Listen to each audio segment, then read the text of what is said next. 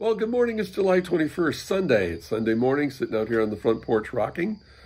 Uh, as, a, This is kind of an intro for our this video you're going to see here, which is going to be pretty long because I'm using this little segment here as an introduction to let you know that it's a, a group of videos that I've taken over the year of how we've tried to refurbish this whole front porch deck.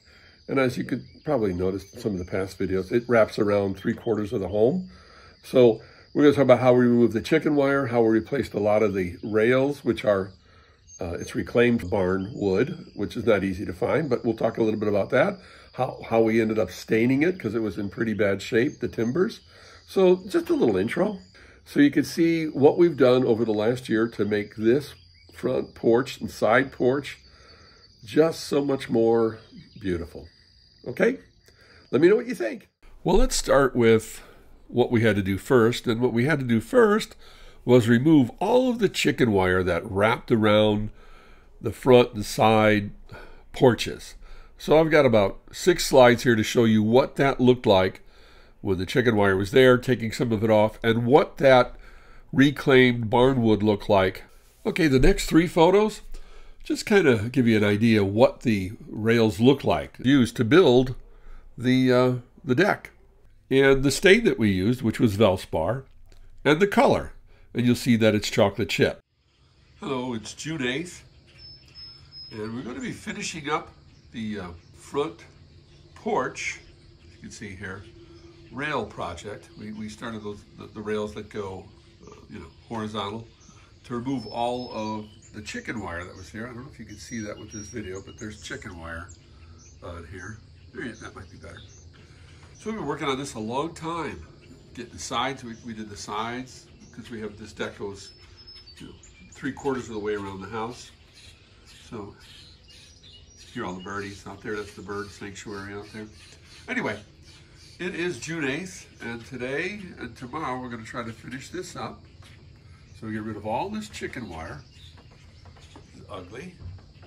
And with just those two railings on it. Similar to what we did over a year ago to the side there. So side posts. These next five photos just give you an idea of the chicken wire that was on the front porch and a uh, word of warning, if you ever have to work with chicken wire in the future and you have not, make sure you've got on good gloves and something to protect your arms because it can be nasty. Well, now you can see we have removed the chicken wire from all of the surrounding front and side porches and placed these planks. And I'll show you what I used for that in a little bit. I think I've got a photo or two of those. And they're basically fence pickets cut. And so all the chicken wire is now gone. And now today, uh, Gail is staining the inside of those uh, center rails. And I am going to be staining the new flower bed that we put in. You can see that the wood we had there before. I'm sure I got pictures of that was in pretty bad shape. So now we'll start staining that to match the stain there. The two colors, these are Valspar. Again, I, Valspar is the best as far as I'm concerned. The uh, the brownish color, I know they're both kind of brown, but the is is called chocolate chip, and the middle rails is potato skin. If you're interested in what the color is, and these daisies, Shasta daisies, that we just put in last year, a couple plants are amazing. Uh, we'll give you an update so here is the rail that I need more of. This is the, whatever it is, one and three quarters by exactly four. This is a side rail for decoration, I guess, a finisher. And as I move down here, Danny, you'll see it ends. It ends over here, right at this spot. But that's okay, I don't need it here because we're gonna do something else with this area. And then here's where they stopped putting it up. So it's just the it's just this here, and there's no side kind of two by four. So this is the 18 feet I need to uh, finish this up. because that's what it looks like. You can see it was down there. We have been working on this front deck for more than a year. Well, since we moved in almost, so over a year.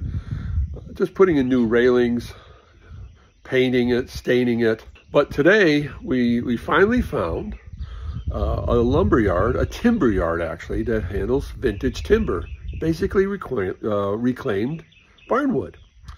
And uh, out in Kingsport, I'm going to actually put their name of the company and a couple pictures from there.